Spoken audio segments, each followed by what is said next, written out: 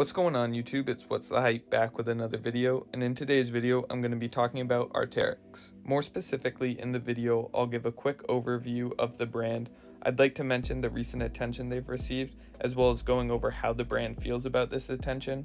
We'll look at collaborations and who I recommend checking out if you enjoy the brand. If you guys enjoy watching, make sure to drop a like and subscribe for more. Without wasting any time, let's get it.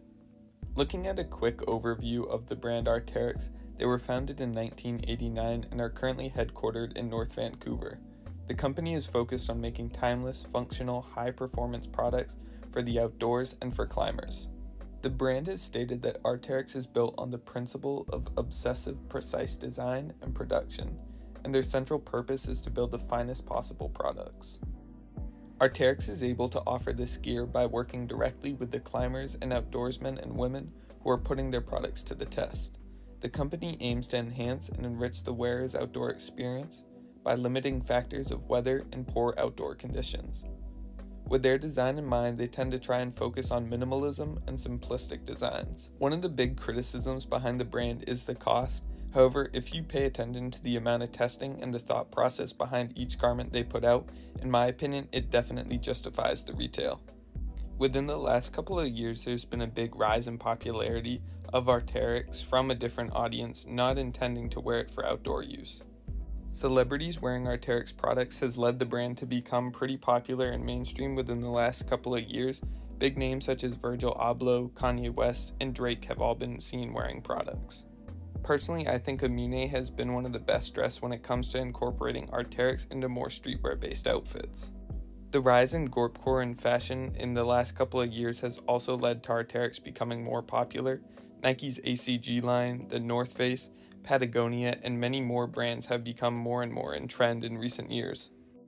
If you watch TikTok, you've probably heard of the song Arc'teryx. This has led the brand to become more of a recognizable household name. I was very surprised to see that even Arc'teryx makes TikToks where they feature their own products. Combining this with the shower trend from TikTok, where the water beads off of the jacket, has led Arc'teryx to be seen by millions of people, but most specifically young people on the app. After watching this recent video on Future Proof, which I recommend checking out, it had me questioning about how Arc'teryx wants to be seen as a company and brand. Based on what I've seen and read from the people who wear Arc'teryx, solely for functional purposes and for what the garments are actually intended for, it seems like they aren't happy with the recent rise in popularity of the brand. However, the brand's collections such as Veilance, System A, and the 24 collection still made me curious if Arc'teryx is going to embrace the hype or lean more away from this. From what I've seen, it seems like Arc'teryx does have the opportunity to embrace the streetwear side of their clothing like the North Face has done with their collaborations. However, I'm not sure if they're 100% going to do this. Veilance was founded in 2009 under Arc'teryx. The clothing is still minimalistic technical products, however, the cuts and products that are offered are more fashion forward. From what I've seen, it seems Veilance is now more marketed as its own brand. Arc'teryx also produced the 24 collection. This collection was constructed for the urban environment, and the clothing that was produced continued to utilize minimalism within their designs. Most recently, we've seen System A, which I believe System A was the first intended name for the Veilance collection. They originally got this name from a form of Russian martial arts. The creative director stated that System A is a gateway into the Arc'teryx world for younger progressive consumers who are a little bit more style conscious.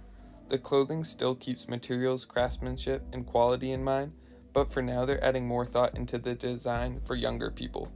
The brand has also built its recent attention around collaborations Although it was an unofficial partnership with Virgil's Off White show, it was interesting to see the Hadid sisters wear the jackets combined with dresses.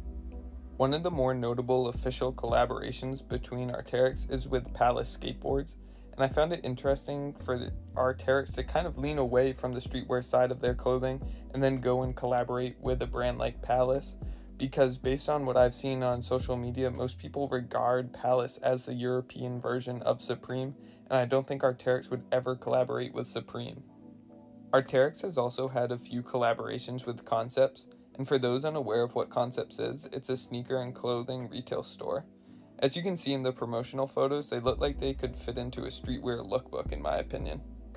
Personally, one of my favorite collaborations is with the Japanese brand Beams. The use of color blocking and them taking advantage of the jacket's panels is very unique in my opinion to see from Arc'teryx. Before we move into people who I think style Arc'teryx really well, I wanted to just add in the video that I found it really cool to see Arc'teryx get Nicole McLaughlin as an ambassador. If you're not aware of her work, she does a really great job upcycling honestly anything, and I'd highly recommend you check out her Instagram if you haven't seen her yet. Real quickly, some channels I'd check out if you like Arc'teryx. Lucas Ludwig, I've seen a few of his videos show up in my recommended, and I checked out his channel and I really like his videos. As well as Kyron, I feel like most people into fashion watch Kyron or have at least seen one of his videos in the past, and he has a really nice collection of Arc'teryx pieces. My last YouTuber recommendation is the Jacket King, who's honestly criminally underrated. He has the craziest collection of jackets I've seen, and he not only buys from Arc'teryx, but a lot of different brands, so I'd check him out. Last up I have Nitz, who you're probably familiar with if you watch any of the Bentley brothers. He hasn't worn Arc'teryx as much lately, but has a lot of really nice old fits. If you've made it this far into the video, honestly the thing I want to know is, do people think Arc'teryx is going to embrace the streetwear side of their clothing more, or are they going to steer away from that? Make sure to drop a like and comment. I'm really honestly curious to know, and if you want to see similar videos in the future, make sure to subscribe. I'll see you next time. Peace.